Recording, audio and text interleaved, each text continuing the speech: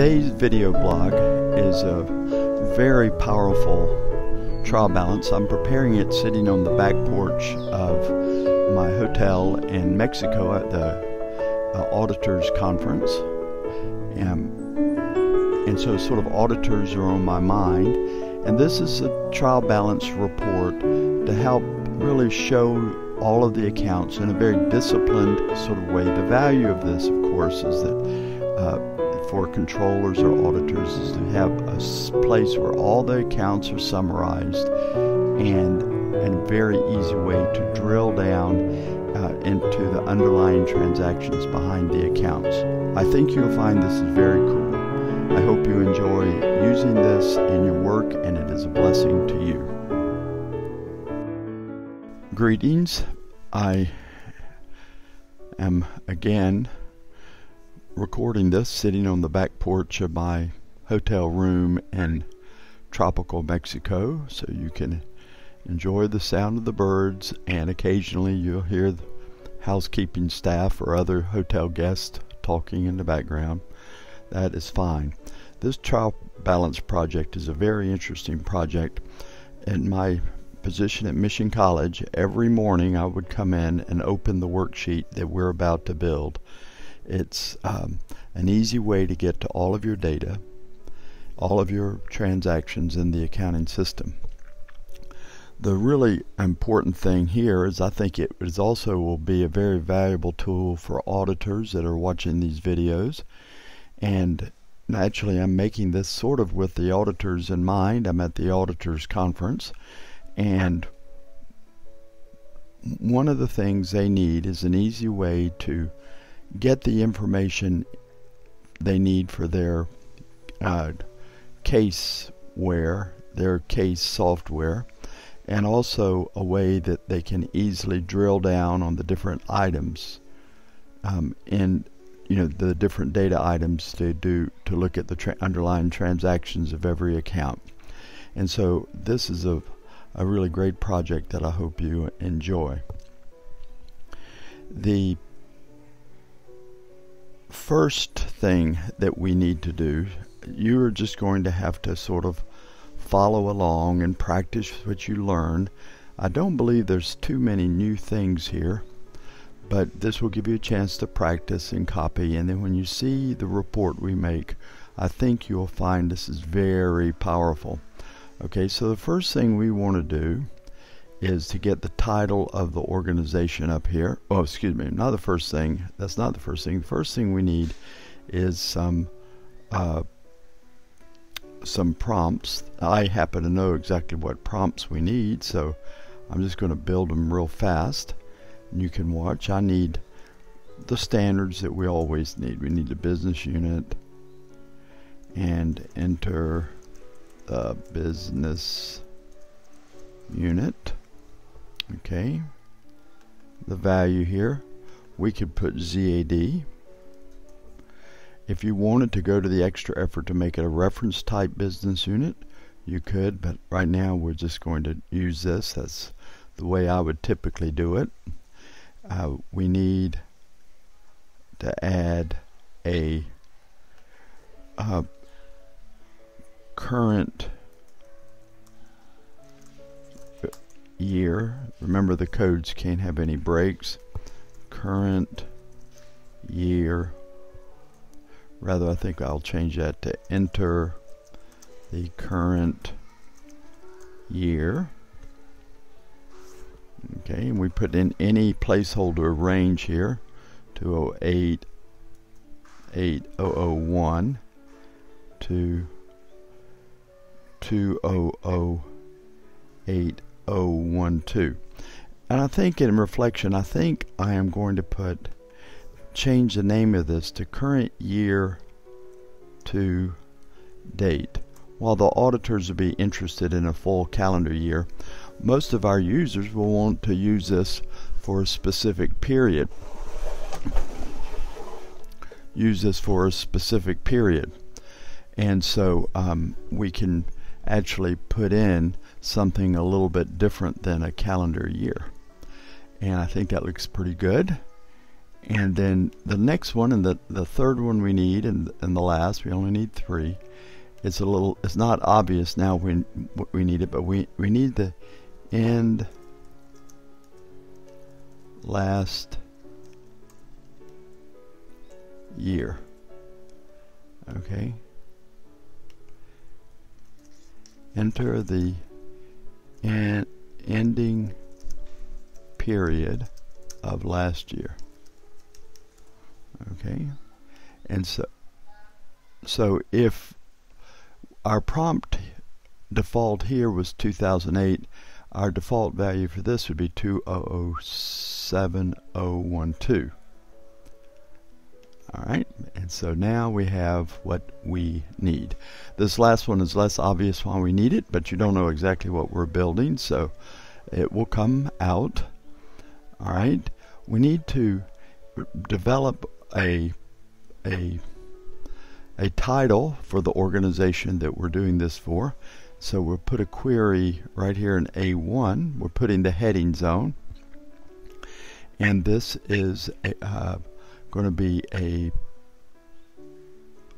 I'd say a reference link might be good. The title, we're pulling up one bit of static data. The business unit that we um, are ba basing this thing on, we want it to pull from this prompt, so not always be ZAD. And the table we want to use here is static data. We're looking. Remember, we're looking for the name of the organization, so we'll get the business unit there. Okay, and then it asks again for the business unit. I don't know why. You can go ask your mom. Okay, and so this is basically just pulled in the business unit table and and the out what we want put in the output is the description. So we'll do that baby right like that. Okay. And then we'll put in the title and this is trial balance. And then we need to put in the date that we're running it. And right now, we're just going to make this hard coded so it has to be changed every time you run it. Um, later on, just keep watching the videos, I will show you how to make this automatic so it automatically determines the right date heading depending on what you put in right there up there in the ending of the current year to date but as of let's put in May 31st, 2009. That's what we are headed toward for just today's run. So what we're going to do here is have a trial balance coming right down here of all the counts coming down to zero at the end. And so we are going to do this by writing one query somewhere about there and uh, and then copying it down all the way down. So we're going to build this query based on references over in here. Uh, someone may be interested in having all of this centered. Let's see if I can get this centered. So I highlighted that. Okay. And we'll do the cells, alignment. And I botch this up about half the time, so we'll see. Center across the cell. We'll go Okay. Alright, we'll put a little line in here to make it look really nice. Okay. And so as I was saying, we are going to build down here the the account balances. But now this is a little bit different than you may be expecting in a trial balance. We're in a normal trial balance, we list every account all the way down and then they come down to zero and then. But that is not what we're doing here. We're going to do this in a summary fashion. Don't worry, we're going to get what you want in the end, but in a little bit more manageable way than just having pages and pages of accounts that come down to zero at the end. Okay, uh, Babcock University has 5,000 student accounts. You don't want all of those listed. Uh, many places would have well, Babcock University has over a thousand employees. ER employee accounts. You wouldn't want all those just listed straight out. very unmanageable. So we're going to do this in in a summary way first and then look at how we'll break it out into the details. And so this cell here that we will do is going to look over here to the accounts that it needs to pick up. So let's start off. Maybe maybe we will do it this what might be best. We'll call it num the first grouping of accounts will be numbered asset accounts. Okay, let's just do it this way. And then we have, maybe we'll skip a line between them, numbered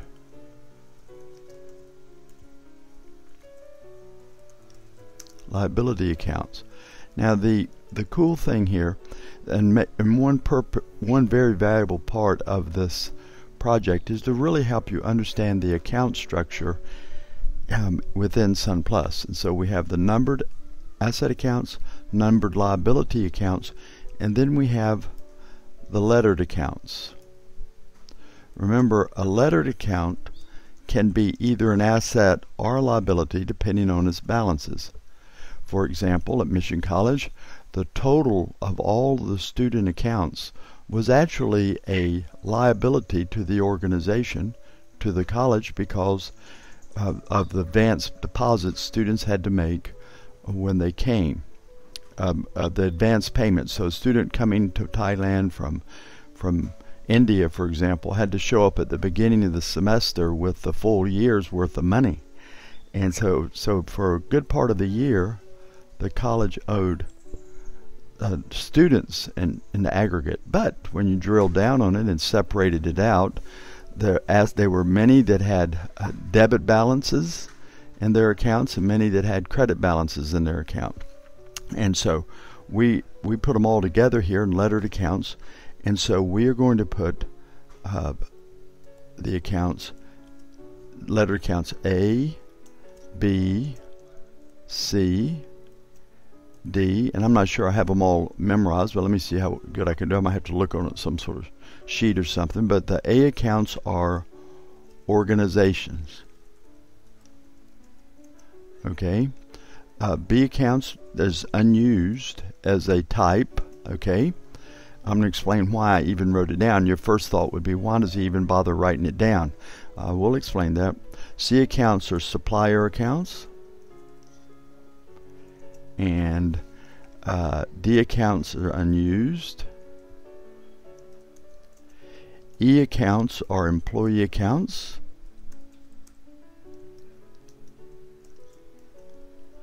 Okay, and uh, I believe that F is unused. And so this would be F and the next one that I know of is student accounts.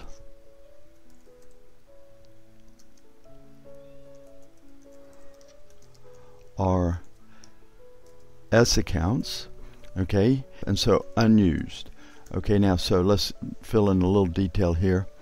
Uh, a B are unused, D are unused, F is unused, and this would be F to to uh,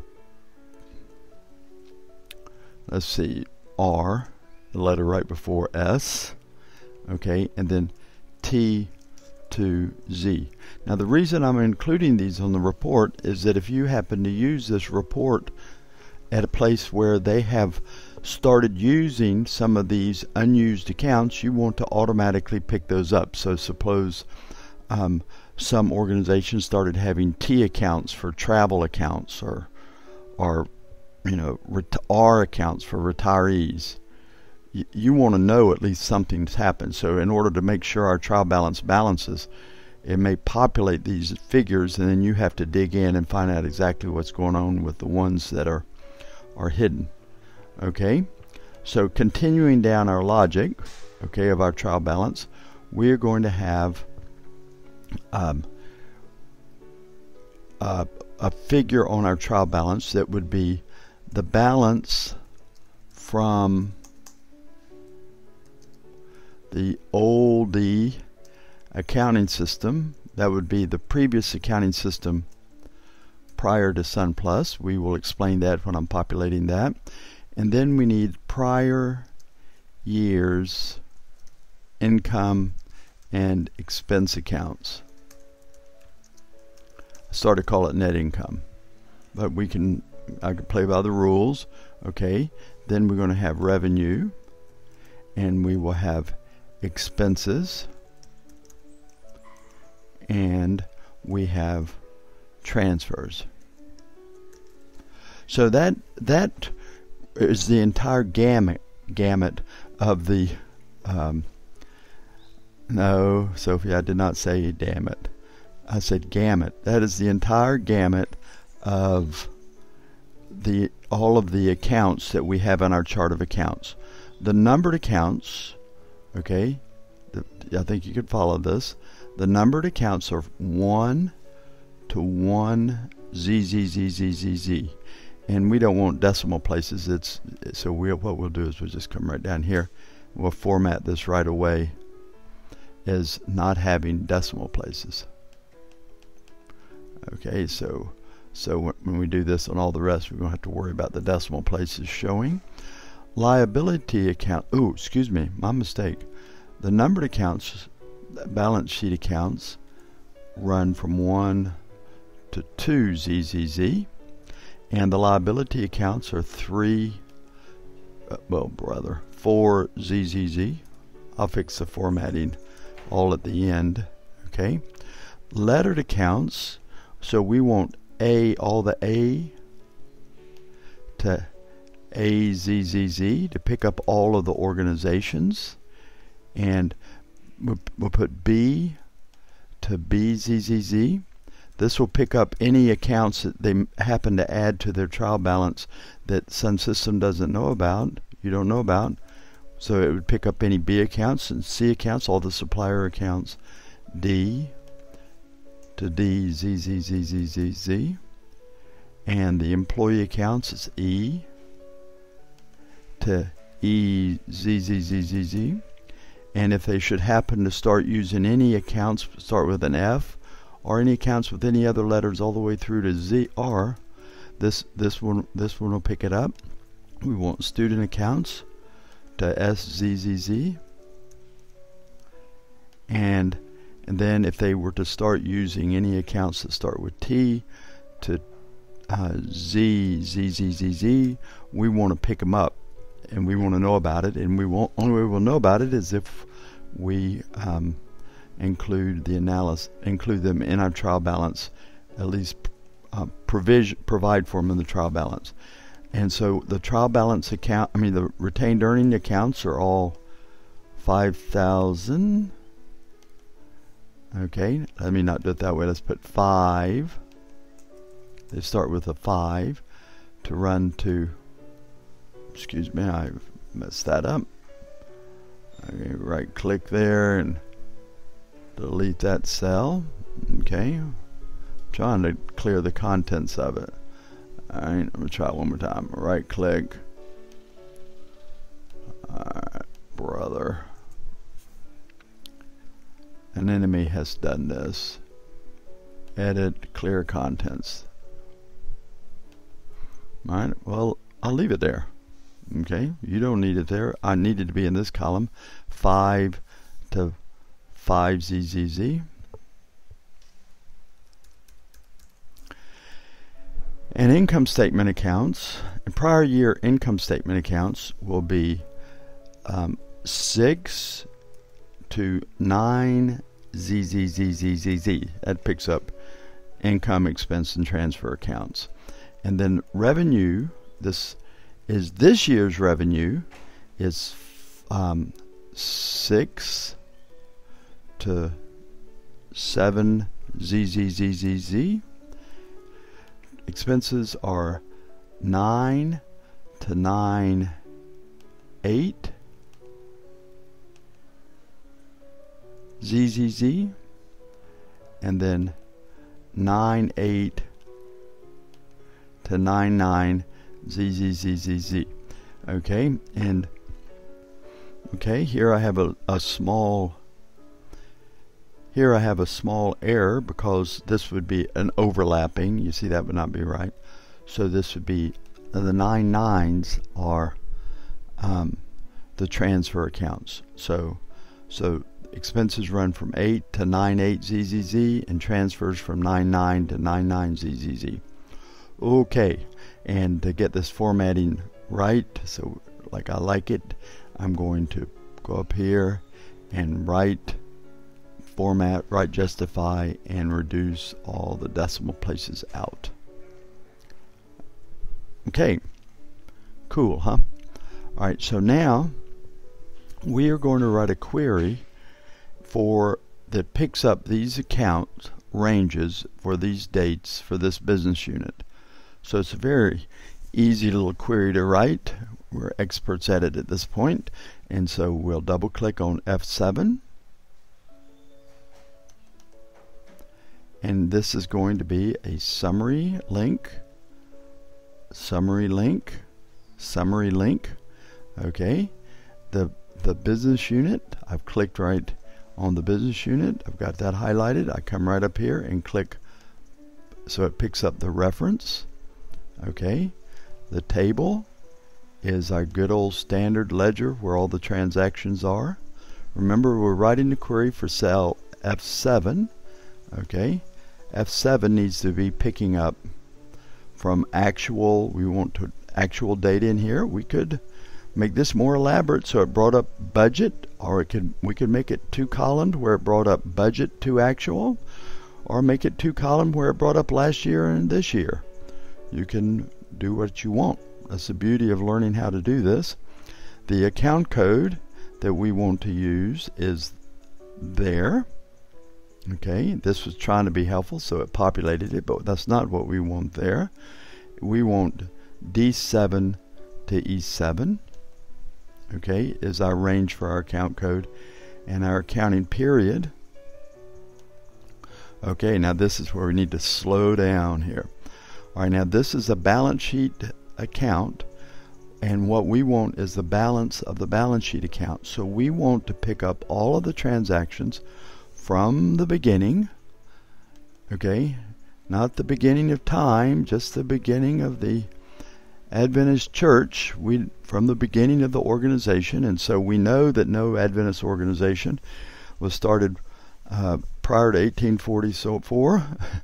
and so, and if you're really just relax, if you're too too bothered by me using that, we we just want a date that goes far enough back prior to the Sun implementation. And so we go. And then we're going to put in this date right here for to capture our balance sheet uh, uh, balance. So let's uh, pause and reflect about that a minute. A balance of a balance sheet account is all of the transactions from the beginning all the way to the balance sheet date. Okay? And we want the base amount. And so we go, okay. All right. And so we have that. That's the balance sheet account for picking up the numbered asset accounts. So I'm going to now right click that baby, copy, and then uh, then paste, and then I'm going to Let's see if I can just paste it all the way down here. Okay. I need this, all of these are balance sheet accounts. And we'll paste that there. Okay, I don't need it here. And I didn't, okay. Hmm. All right, I'm going to go get this cell right here.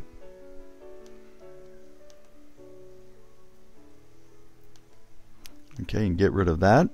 And, and I didn't exactly explain this. This would be down here, this section right down here is calculating the um, the end of last year's fund balance is what this is going to be.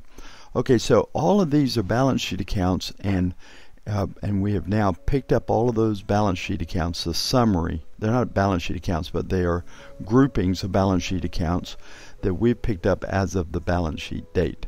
And the balance from the old system is brought in as of the balance sheet date, bringing in any transactions to five the five thousands. We call this the balance from the old systems, but it's conceivable that they would be prior period adjustments um, in uh, there as well. And for sure, uh, organizations may have incorrectly and erroneously posted entries in there, but for our trial balance, we need to capture that, and so that's why they're included here. So now I'm going to take this. Now we're moving to income statement accounts. Income statement accounts for prior years and income statements accounts for uh, the current year. And so we now we'll pick this total up again. Our basic query is going to um, be the same. Okay, we'll paste and we'll paste this. Okay, but the problem with this one is the date. So let me open that query and we'll study it out. It's picking up the business unit by reference to the prompt and it's picking up the account codes correctly, but it's picking up all of the transactions up to the balance sheet date. And we want only the transactions on this figure here for up through the end of last year, and that's why we put that prompt in.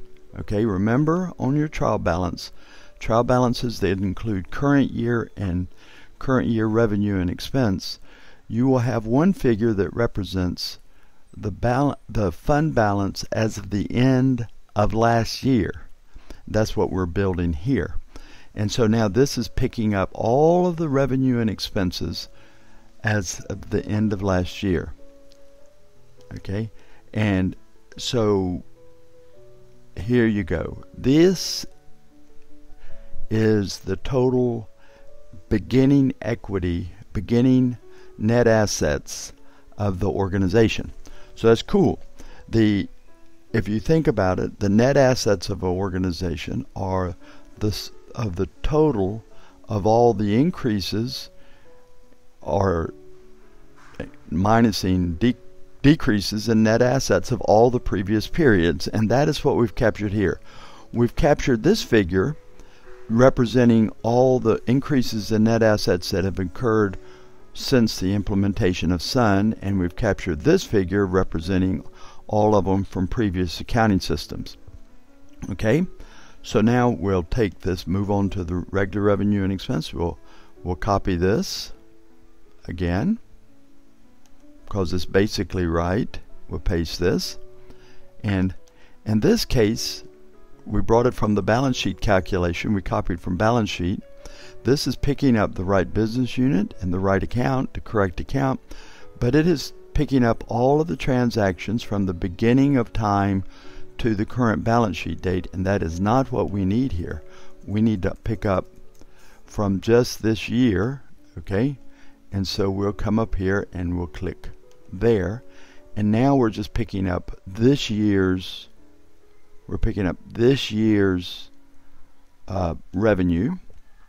We say OK, and we'll right click that, and we'll copy this and pick up this year's expenses and pick up this year's transfers. Okay, so we've finished uh, the query for every one of them. Alright, now if we have done this correctly, we should be able to sum all of the accounts. Okay, so I have all the accounts selected there. Okay, and we click, well that came on, we click sum, and there's a summary for that. Let's fix the formatting. I don't like those dollar signs, so let's format it without dollar signs let's put a line underneath to underline the total.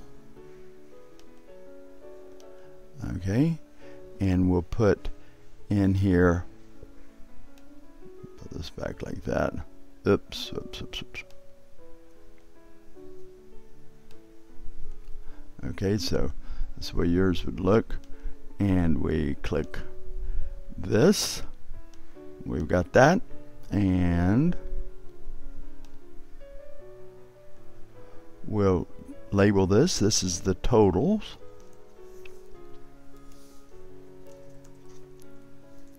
And this should be zero, should be zero. Okay, let's narrow this column width here. We don't need to have quite so much. There, looks pretty good to me. All right. And so I think we're ready to extract. Let's extract and see what we get here. The total of all of these count groupings should be zero if we've done this right. So we will extract. All right. Now we need to set these um, to, you need to do this. Mine is a, a little bit ahead of you here. Set this to 2009.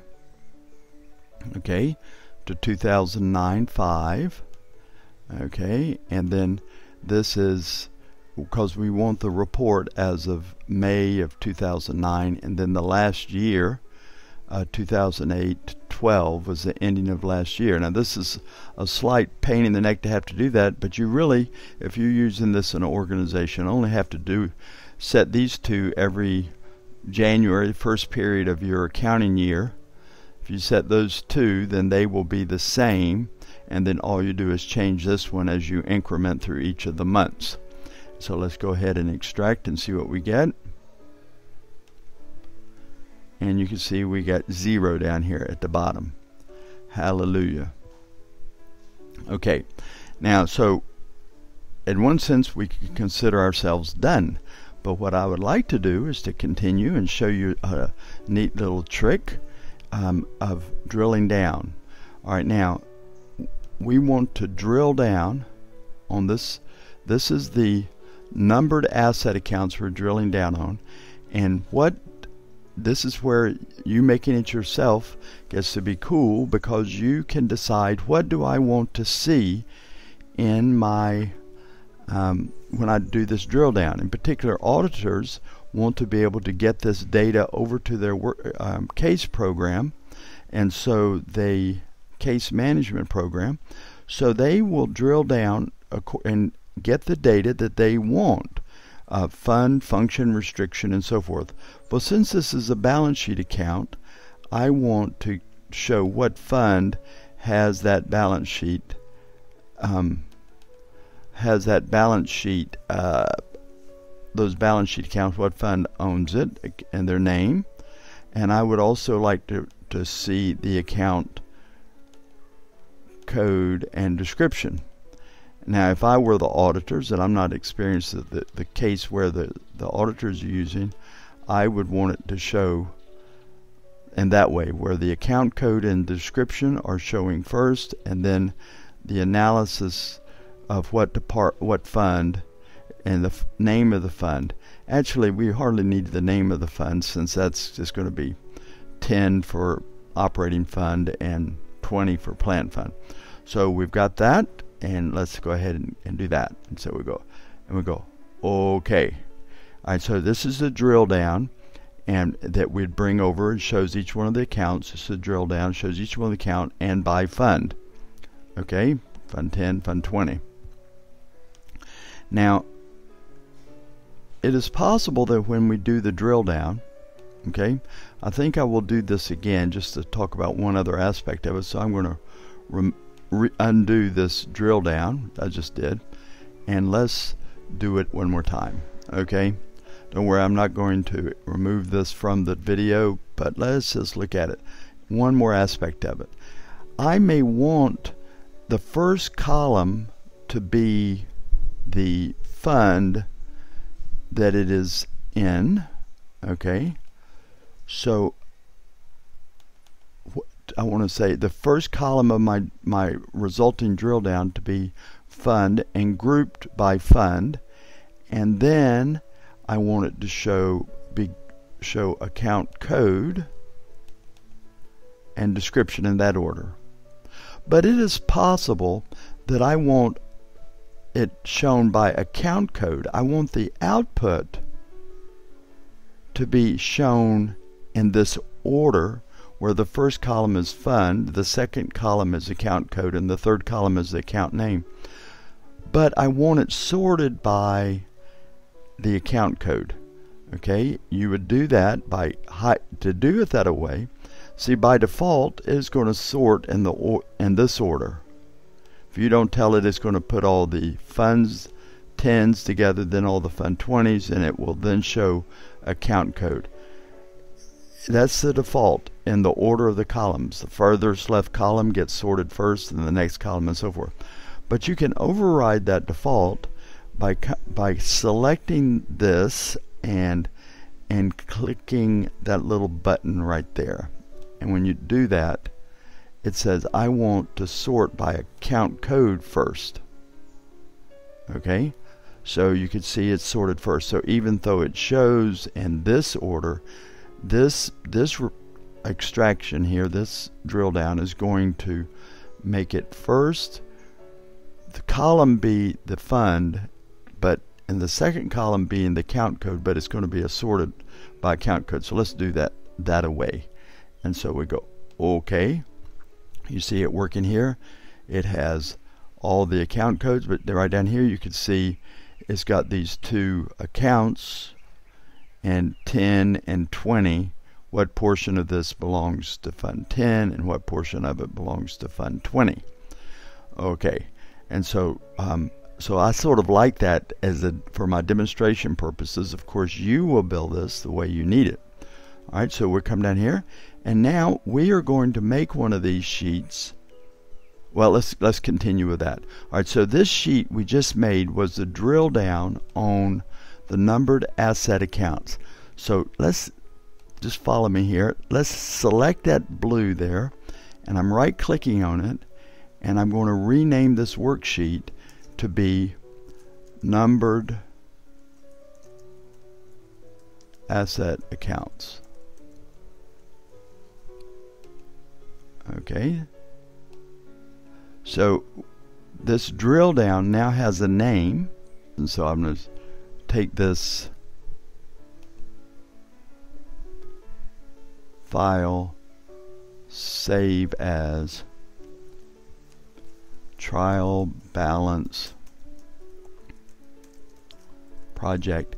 And I already have one of these saved so I'm going to call it dropout pilot save 2 you wouldn't need to do that. So now I have this is the this is the summary and this is the first breakout of um, that number down.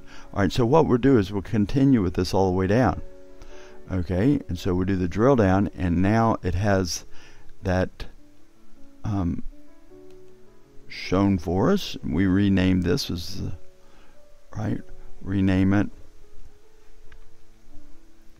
numbered liability accounts.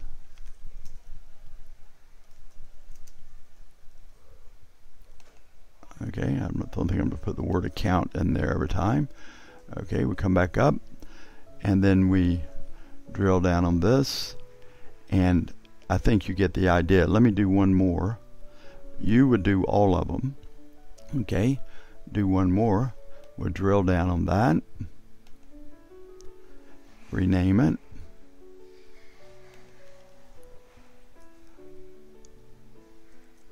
Organization.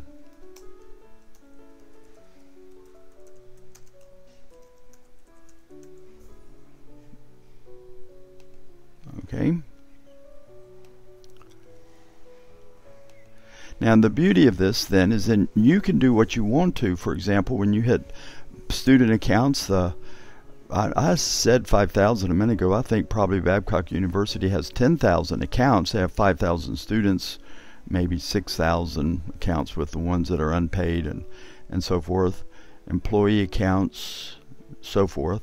You can include this, and so it basically makes these lettered accounts subsidiary ledgers if you want them to be that, or they can go into your main trial balance when you're building your caseware project. Okay, it's a little bit different. You would not drill down on this, but if the auditor was interested in drilling down on this, I would drill down on this based on posted date as a way to ferret out if they've posted any entries to either of those accounts after the closing of the last audit.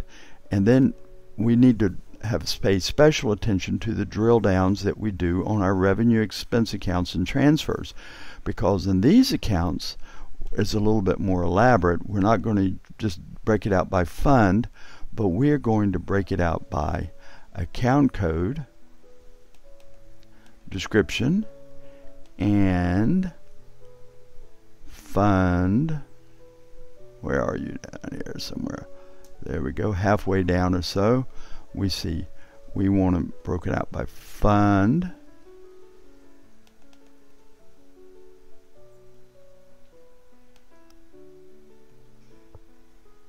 function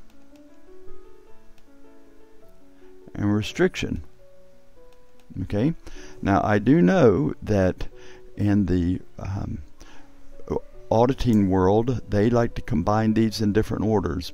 Different places in the world I go want the accounts to show in their caseware as fund, function, restriction, and account, and some people want it to be account um, uh, first, and then fund, function, and I think there's sort of a standard in the accounting manual, but that is something for you to figure out which order you want these to be shown in. But remember, they don't need to be sorted that way. Okay, they can be in, let's say, this order where the account code is last. Okay, and you want the account name to go in. Okay, it's right here.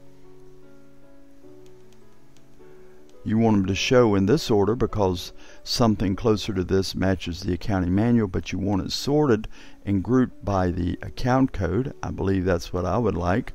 And so I would get a count code up here to be the sort order. And I click OK. And I have the balance of all of my uh, income statement accounts ordered by their account number, but um, in this arrangement.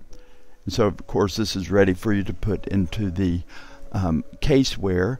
If you want one account number, you would copy this and that combines all of these. Just simply copy and paste this into Excel, insert another column, and use the concatenate function within Excel to combine these four cells to come up to a single unified account number.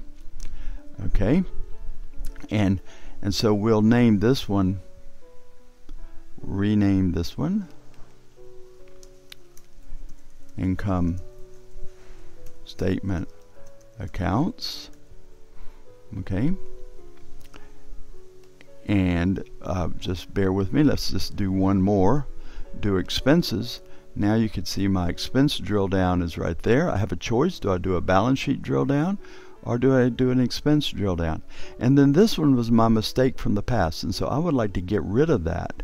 So I will edit this and get this last one that's confusing me and delete it. And so now I have a nice tidy one. Okay, and I will call this this the um, let's see let's let's come up with a name for this one and uh, uh, I want to call it income statement account.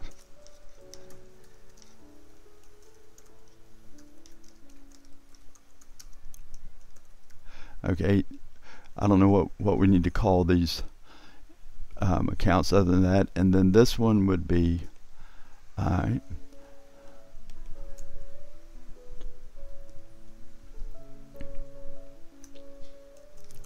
balance sheet accounts drill down. Okay. So I will close that. And so now when I put my number over one of these things, it will pull down what I need. So I want income statement account drill down. All right. And so we will name that expense accounts. And I see I misnamed this one right here. And that would be uh, not income statement accounts, that's just income accounts, or revenue accounts. Let's do that. Revenue accounts. So now I'm just about done. We'll take this baby and we'll save the drill path. Okay. We'll save this drill path and we'll call this the well let's just use that same name. So we save this drill path we close and we save our entire project.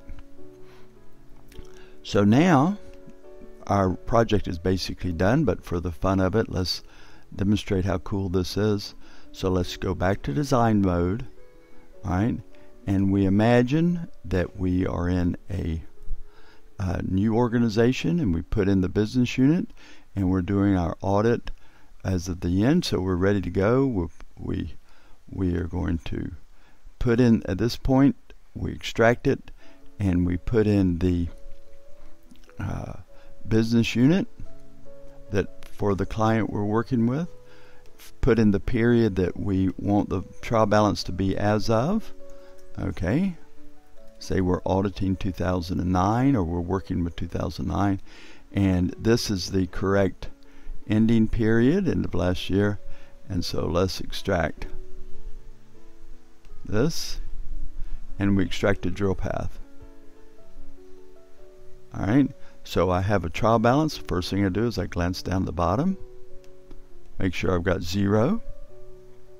And then I have the details of each of my headings right down this with all of this going all the way through.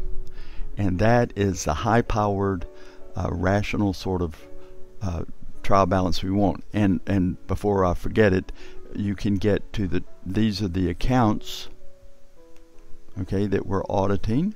And we can then go through and take any of these accounts and look at the underlying transactions by drilling down on them, okay? That is, as we go through our audit, we want more details. We can drill down on those transactions um, by saying, okay, I want to see all the transactions in there. We go down, uh, organized by date, journal number, line number, journal type, and you can make up your own. Put out what you exactly want, um, and we go, Okay, and so this is a donation from Mr. Jones. We're doing expense accounts. We've got salaries here on a date here for salaries that have been charged to these different functions. I could take this and say, all right, I want to drill down on this by who, for example. You can drill down and work with this as long as you want. So if your only goal Okay, so that was Marina for that department. Okay, if your only goal was to somehow or another get this out to caseware, this is you sort of miss the point. The point is that once I've got this done, I have the basis of managing all of my audit um, or any other sort of management process that I want to do within the organization. Now, for the controllers that are watching this, your drill downs may be a little bit different. Okay, you could drill down with a different perspective and you could actually make subgroups. If I uh, were doing this and I was running an organization, I would have my expenses broken down bet- between employee expenses and departmental expenses. At Mission College, I had revenue, a little bit more uh, detailed, granular details here. So I hope that you find this very helpful in your work, and God bless.